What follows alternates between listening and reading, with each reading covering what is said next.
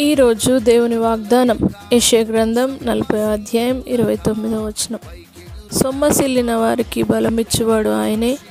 శక్తిహీనులకు బలాభివృద్ధి కలిగజేయవాడు ఆయనే. నా ప్రియ సహోదరి సహోదరులారా ఈరోజు దేవుడు మీతో వాగ్దానం చేస్తూ ఉన్నాడు. సొమ్మసిల్లిన స్థితిలో మీరు ఉన్నట్లయితే భయంకరమైన అనారోగ్యంతో మీరు బాధపడుతున్నట్లయితే దేవుడు ఈరోజు మీతో గొప్ప వాగ్దానం చేస్తూ ఉన్నాడు. ఆయన బలమిచ్చే దేవుడు.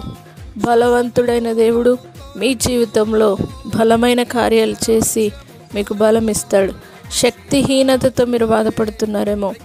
భయంకరమైన సమస్యలను బట్టి మీ శక్తి అంతా కోల్పోయి అనారోగ్యమును బట్టి మీ శక్తి అంతా కోల్పోయి ఉన్నారేమో. దేవుడు ఈరోజు మీతో మాట్లాడుతూ ఉన్నాడు వాగ్దానం చేస్తూ ఉన్నాడు. మీ శక్తిహీనత నుండి దేవుడు విడిపించి బలాభివృద్ధిని దేవుడు కలుగజేయబోతున్నాడు కాబట్టి ఈరోజే దేవుని కొరకు మీరు ఎదురు చూడండి. నూతన బలమును మీరు పొందుతారు. పక్షిరాజు యవ్వనం వలె దేవుడు మీ యవ్వనాన్ని కొత్తదిగా చేస్తాడు. నా ప్రియ సహోదరి సహోదరులారా తప్పక దేవుడు మీ జీవితంలో ప్రతి సొమ్మసిల్లిన స్థితి నుండి విడిపించి బలమునివ్వబోతా ఉన్నాడు. బలపరిచే దేవుడు మీతో ఉన్నాడు కాబట్టి ఆయన శక్తి మిమ్మల్ని ఆవరించి మీ జీవితంలో అద్భుత కార్యాన్ని జరిగించబోతా ఉన్నది. నా ప్రియ సహోదరులారా ఈరోజే అప్పగించుకోండి.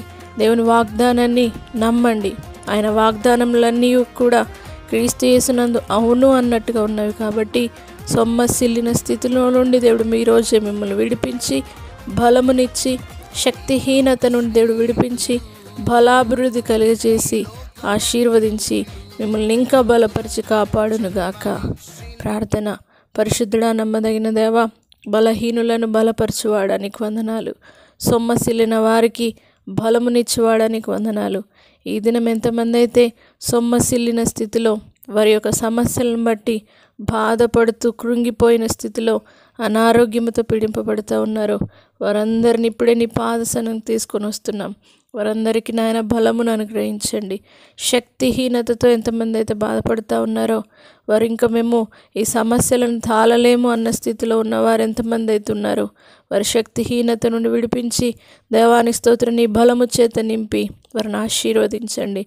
నీ కొరకు ఎదురు చూసేవారిగా నూతన బలంను అనుగ్రహించి ఈ నూతన సంవత్సరంలో నూతన మేళ్ళ చేత నింపి పక్షిరాజు యవ్వనం వలె వారి యవ్వనాన్ని కొత్తదిగా చేసి పక్షిరాజు వలె రెక్కలు చాపి పైకి ఎగురుటకు అలయక పరిగెత్తుటకు సొమ్మసిల్లక నడిచిపోవుటకు వారిని అభిషేకించమని నా సరడనేసు పరిశుద్ధ నామను బట్టి అడిగి వేడుకుంటున్నాము తండ్రి.